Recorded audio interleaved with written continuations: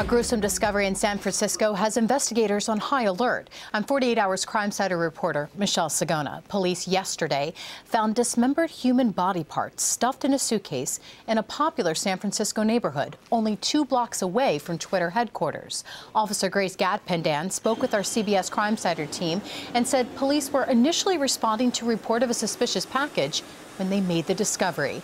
They quickly called in a medical examiner to confirm that those remains were indeed human. Additional body parts have also been found in the surrounding area as well. This according to the same officer. But no word yet on whether the remains are that of the same person or of the original investigation.